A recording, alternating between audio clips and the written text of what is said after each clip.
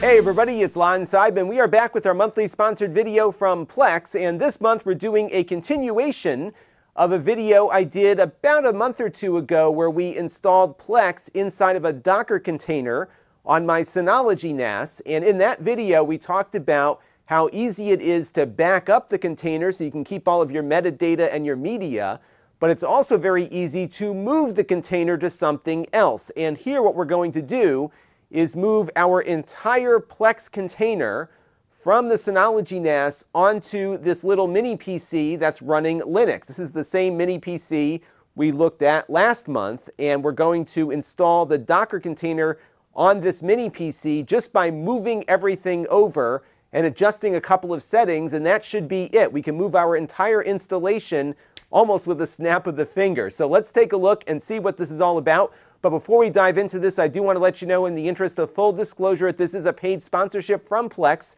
However, they are not reviewing or approving what you're about to see before it was uploaded, and all the opinions you're about to hear are my own. So let's get into it now and see how we can move our Docker installation with just a few key presses. Now, before we kick things off, I am running Ubuntu, the desktop version, and I did have to install Docker, of course, on this machine before we got started. And the way I did it is I installed the Docker engine and I followed these instructions that I found on Docker's website.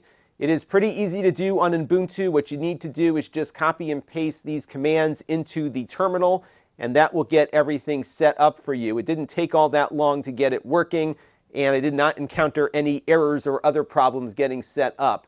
The process will likely be different depending on which distribution of Linux that you are using, but these were the instructions that I followed to get things up and running on my machine.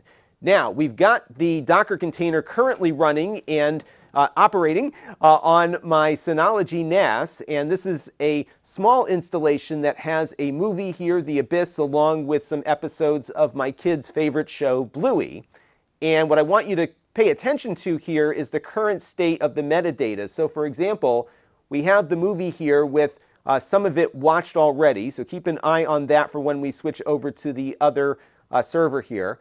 And the other thing I'm going to do before I shut things down is change the thumbnail poster on the Bluey episodes here. So I'm going to go with this one with him sitting, or she, sitting on the planet. So I'm going to click on Save here and change that over because I want to move things off the default so we can prove that the metadata has carried over successfully in addition to our media. Now, where things are stored currently on the NAS are all in a single bucket here. I've got a folder called PlexTemp that we set up on the NAS when we built this Docker container initially. In here I have my Docker Compose file, which I will show you in a minute. This is what we used to build the container in the first place. I have the media stored inside of these folders. So for example, if we jump into TV here, we'll have the Bluey episodes all lined up there. And the config folder is where all of Plex's data is currently being stored. So all we're going to do here is take those files and just move them over to the mini PC here. And when we do that, we can rebuild the Docker container and everything should go back to exactly where it was before, but now we're going to be running on a completely different piece of hardware. And that's what's so great about Docker is its portability. So to do this, what we're going to do here is stop the Plex temp container here on the Synology NAS where it's currently located. So I'm going to click on stop here. And this is kind of the uh, endpoint to what we showed off in the prior video where we built the uh, container using this interface. So now you're going to see this going to off and it is no longer running. If I jump back to Plex here, you can see that my Plex test is done. it is off the network, so we are good there. And what I did before I started shooting the video was I copied the media files over because they were rather large along with the Docker Compose file. But now that the server is shut down, I can very safely copy the config data over now as well. So what we're going to do here is just drag this folder over. And what it's going to do is basically duplicate everything that's currently on the Synology NAS.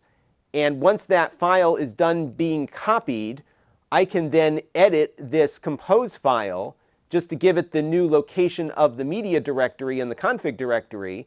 And from there, we just issue a very simple command and everything's going to come right back up. So let's let this finish copying and I'll show you what to do next. All right, so everything is done being copied over now. We've got the media folder here with our media, we've got the config folder with all our metadata, and we have the Docker compose file.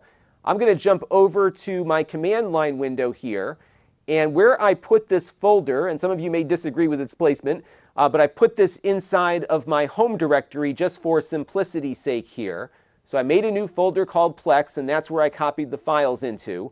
When I pull up my terminal window here, I am located in my home directory. And as you can see here, we have a Plex folder that shows up. So I can go to cd uh, space Plex.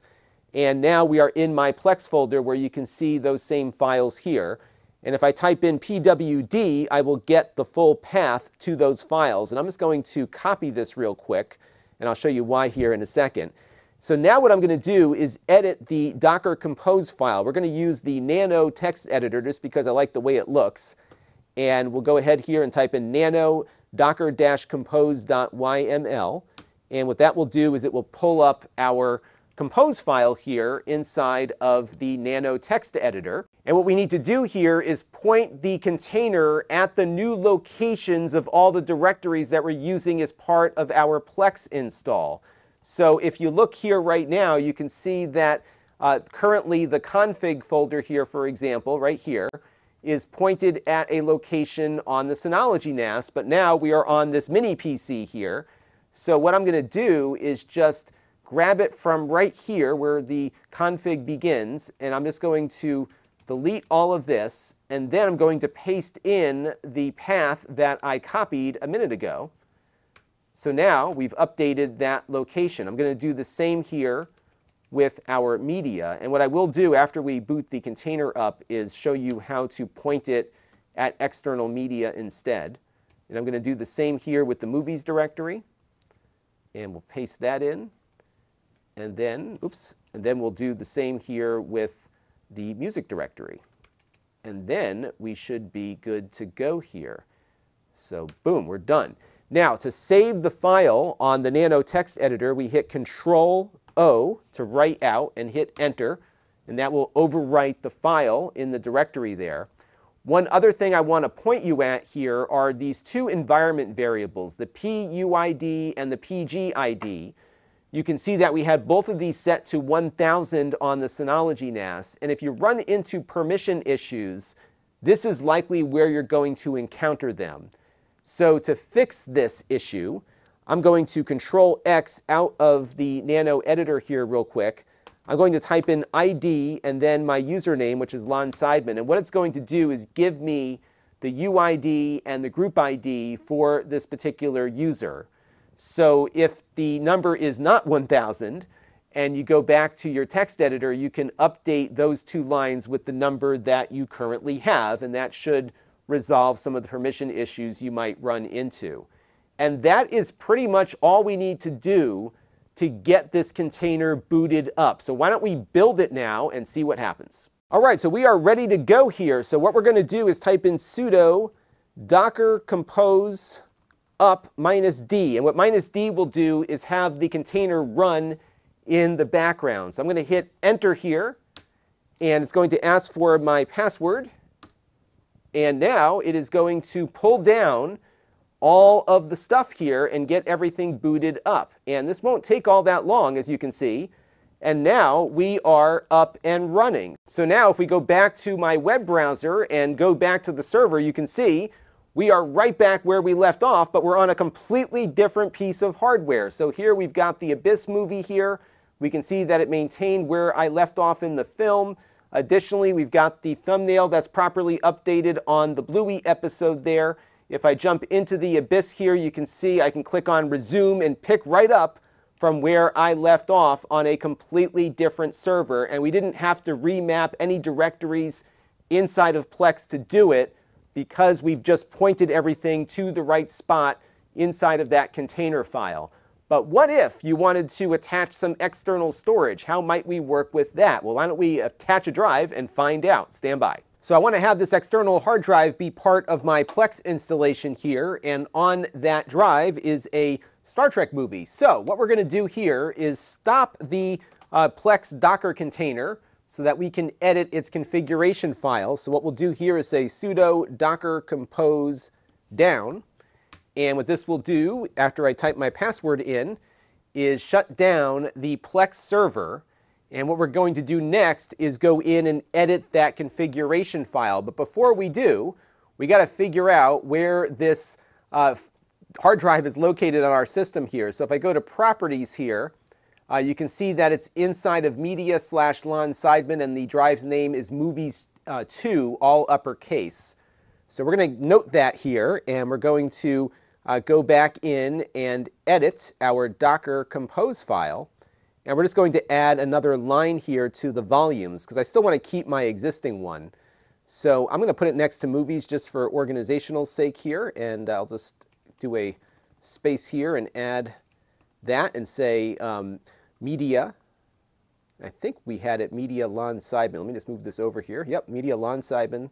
And this is going to be called movies 2. And it's just on the root directory of this particular device here. And we'll just call this movies 2 inside of Plex. I'll hit Control O to write it out. Control X, sudo docker compose up minus D. And what it's going to do is rebuild the Plex server now uh, with that directory added. You can see that our server came back to life here very quickly. And if I go into my movies thing here, I can go in and manage the library. So we can go over to edit. And what I'm going to do now is add a folder. So we have the movies folder already. If I browse for more folders, what I should see here is movies 2. And there's my movie. And if I click add and save changes, uh, what we should see after I scan the library here is now our external drive is part of this as well. So this movie is on the internal storage.